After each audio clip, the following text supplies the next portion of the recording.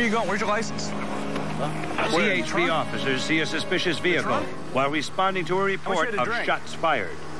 Four beers? You're going to jail. Two armed robbery suspects lead Rhode Island state troopers on a wild and dangerous high-speed chase. An informant's tip takes the Connecticut State Police on an early morning drug raid. These are the real stories of the Highway Patrol.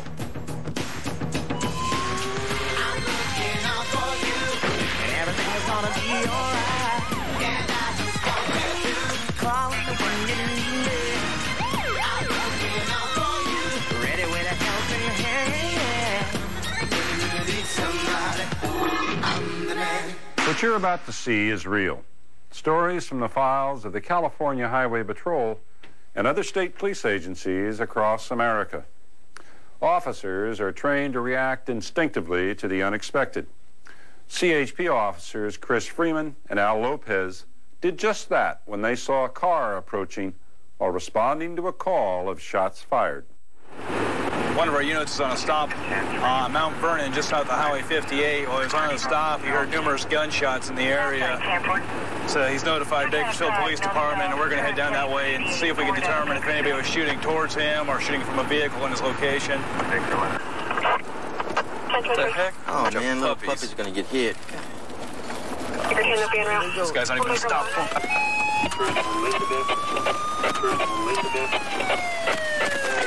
Come here. Got a license on you? How come we could see him and you couldn't see him? Give me your driver's license. Put your hands where I can see him, guys. Where are you going? Where's your license? Where? In the trunk? In the trunk? How much you had to drink? Four beers? You just ran over a bunch of dogs in the street back there. I'm. I'm. I, I, I want to take them home. Yeah. I'm going home. Open it up. I'm going home. Open it up. Okay, where's your license at? Put your hands up on the roof, please. Up here on top. Up here on top. Inside, bud. Inside. Right here. Well, that's one side, por favor. Ahí dejan las manos. You don't have it. Hang on a second. There's there's a holster to get in the trunk back there. Got No, no, no. I'm Where we sorry. got the gun at? There's a holster in the trunk. No, yo no. I'm sorry, you know. I'm sorry. I don't know. 184, stand by. Ay, quédate, no te mueves. What's that? No te mueves. Excuse me. We got a gun inside? Uh, there's a holster. There's a gun someplace. Siéntate. Sit down. Sit down. Beggars 184. We're on a stop. with it. Siéntate. No, He has not been searched yet. he has not been searched. We took him down. No, no, none of them have been searched. They're all extremely deuced, but none of them have been searched. We had the shots being fired back over there, and we came over here. These guys are coming out from that back way. Look the other way. Face, face that. Put your hands on your head. And pat you down for any weapons. Where's the weapons at, bud? Huh? I don't know nothing about no weapons. You got no weapons in the car? There's all kinds of rounds. I don't know if they about weapons, officer. I don't. I swear to God.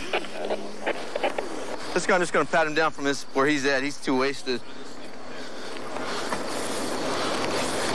It appears to be a nine millimeter round. We had the call of shots being fired in the area. This is the back way to the area where shots had been fired. Uh, if you're gonna leave from that area without trying to get caught, this would be the route to take. This is a car crisscross. So far, everything adds up. We got the magazines. We got one round there. We got the holster. Just a matter, we got to find the gun. Either they dumped it when they saw us, they may have dumped it. Once we crisscrossed, you could see that we had an overhead light bar. They were able to tell that's a black and white. We started over here on this side. There it is, right there. It's exactly what he was going for. Bingo.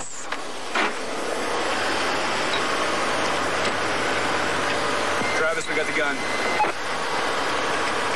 It's exactly what he was reaching for. He was digging in the trunk. I bet it's loaded and ready to go. Well, maybe not. Loaded? No, it's empty. Good job. Got it.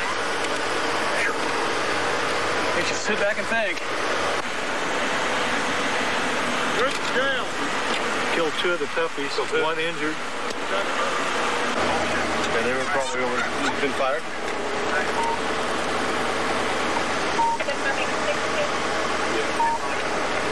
Very recently. You speak fine English? Are you? I speak fine English. Okay. Do you have some ID on you? Where's your driver's license? Where in the car? Is it in the trunk? No. Why were you going in the trunk? Huh? What were you going in the trunk for? No, I to know. I think it's in the trunk. Hey, Well, you first told me your driver's license is in the trunk. There's nothing in the trunk but a gun. I don't know what's in the trunk. That's not my car. It's not your car? You're not drunk, okay? You've, you've had a couple beers, but No, I'm doing this. I know. I don't know. This is- the gun's going with us, okay? Tell your friend if he wants his gun back, he's going to come talk to me to get it back, okay? We're going to handcuff you. You're going to sign your ticket. You're going to get out of here, okay?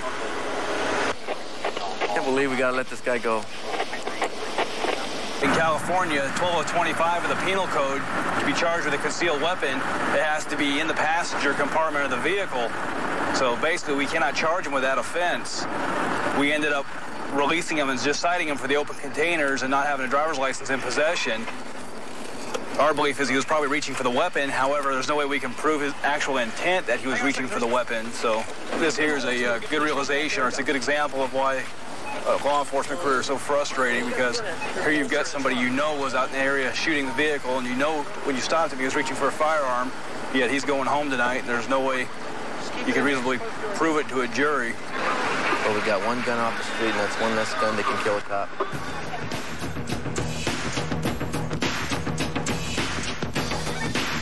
During a traffic stop, probable cause is sufficient grounds to justify a search by law enforcement officers. State troopers Jackie Clark and Joe Williams had that justification outside Forrest City, Arkansas. I'm uh, stopping this Cadillac's got 10 on his license plate and you can't hardly read his tag number, which is illegal in the state of Arkansas.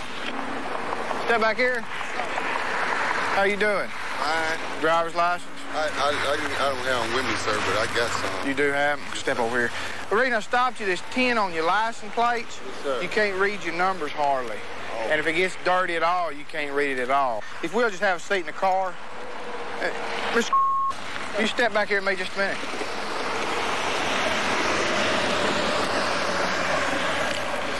Uh, we can't find any driver's license on him. You say yours are suspended? Suspended to December the 17th. You mind if we look in your car?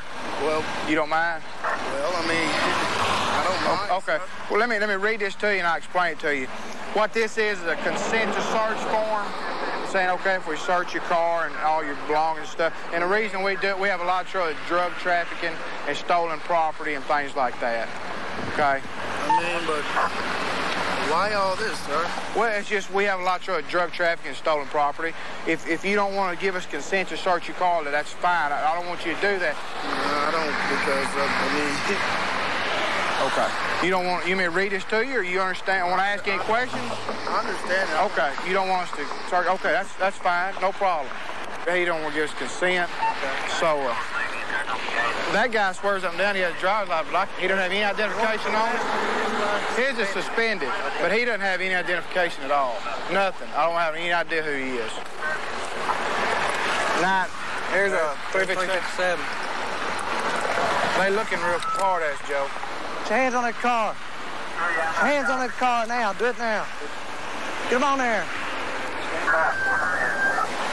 Joe, You stay right there. you find something? No, you got a gun. Whose pistol is that? I ain't know no Christmas. Huh? Your gun? Here's a Roll poke. papers out of his Here's a push here. wire for crack. Push wire, got some crack. Push. You got some crack? No, I got some papers. Good gracious. Yo, another gun here.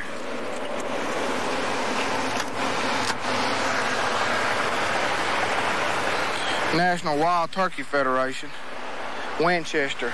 I bet that's some kind of a uh, limited edition gun. Therefore, this shows to be a Model 1300 12 gauge Winchester. The gun's stolen. Right now, you're charged with no driver's license, possession of drug paraphernalia. Drug paraphernalia. It's a push wire in there and some rolling papers. Push one. Yeah. Oh. Marijuana seat, black seat, Jake. He has several marijuana seat in the front seat and back seat and stuff like that.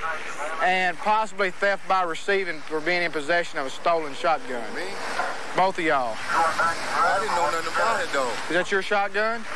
Where'd you get it? From From where? from a guy off the street. Guy off the street. How much you give him for it? Fifty dollars? Well, then you knew that's probably stolen, didn't you? Well, that ain't no good. There's a bail bonds receipt uh, dated October 92 for a possession of controlled substance. So he's been here before, it looks like.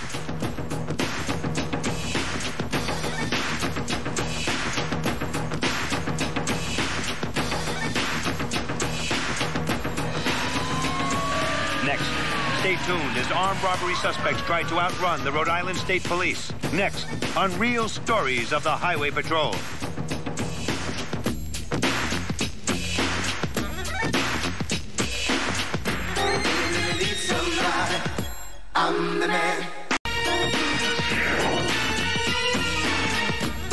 When two Rhode Island state troopers stopped a pickup truck on a hot August night, the only thing they were absolutely sure of was the temperature.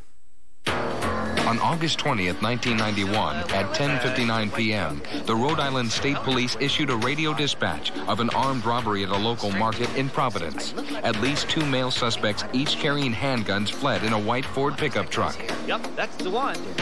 Rhode Island State Trooper James Manny and John Regilio, along with fellow troopers Walter Anderson and John Layden, took up a short post position on the Thurbers Avenue on-ramp just south of Providence. The troopers observed a white Ford pickup truck with one occupant traveling southbound.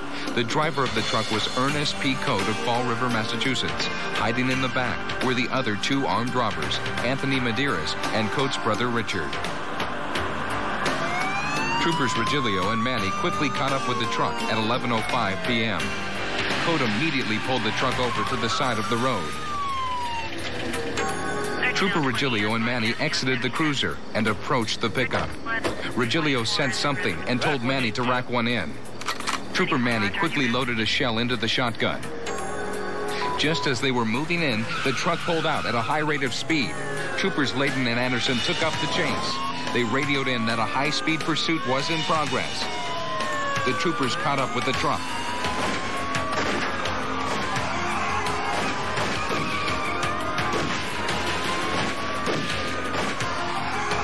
As the suspects continued firing, the two cruisers positioned themselves so that they would not cross into each other's line of fire. Once positioned, the troopers let out a barrage of gunfire. Medeiros and Coate tried to continue the attack, but the troopers' firepower was too intense.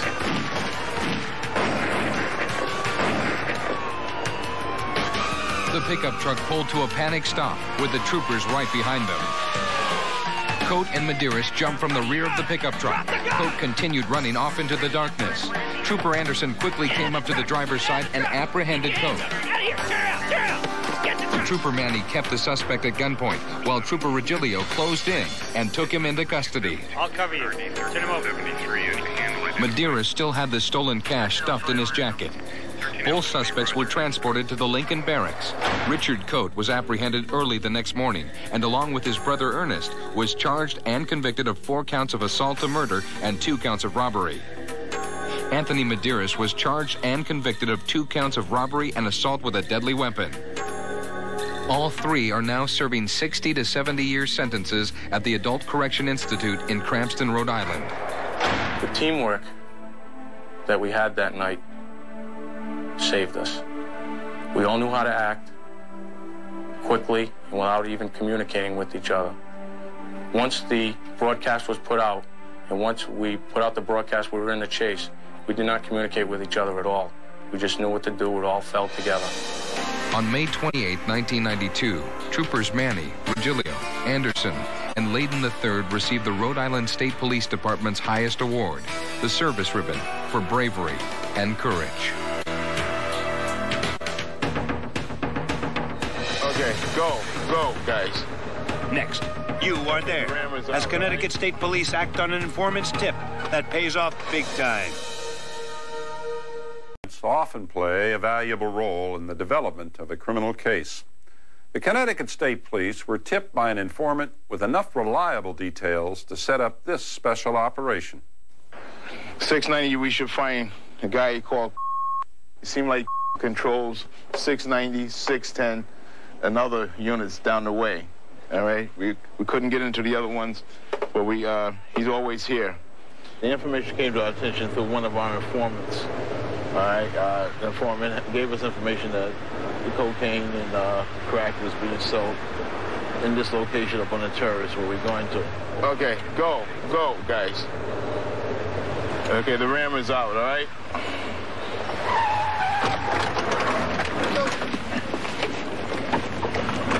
The area where we're going is really heavy into crack cocaine and heroin up in that area.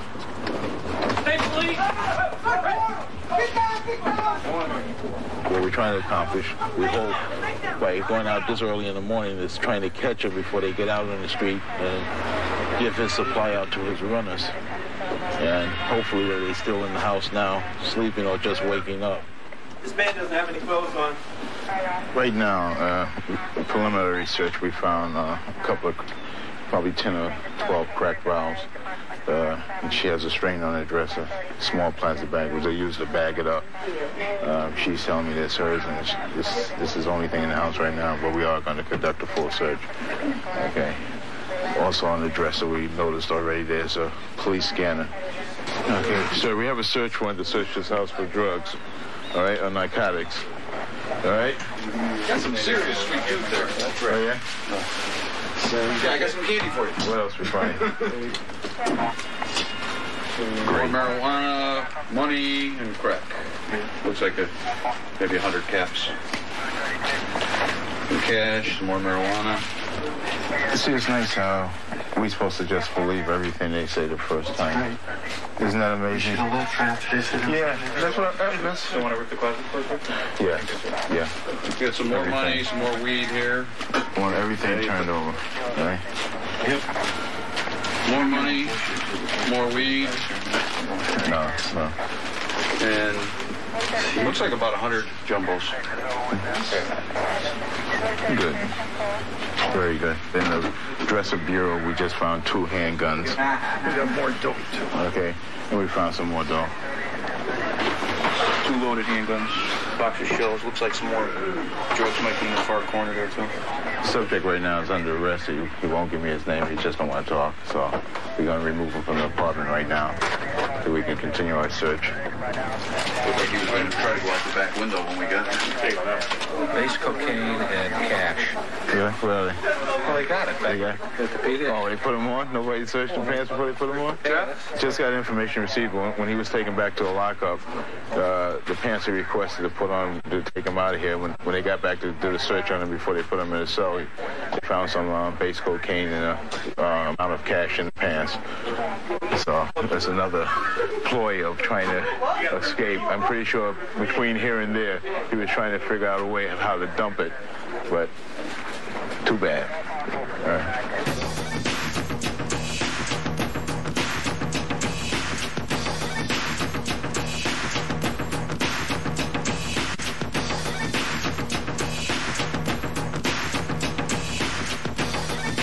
Realize the devastating cost to our society from the sale and use of illicit drugs. If you are young, say no to drugs and keep saying no.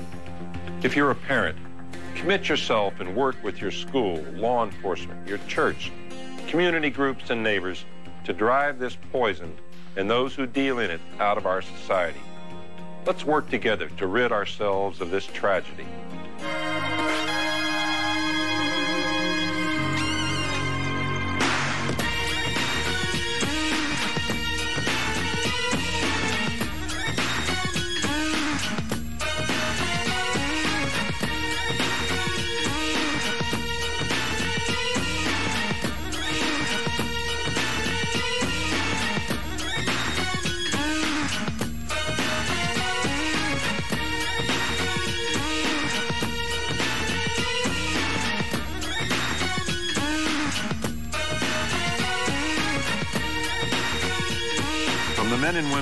Highway Patrol and state police agencies of America, thank you for watching.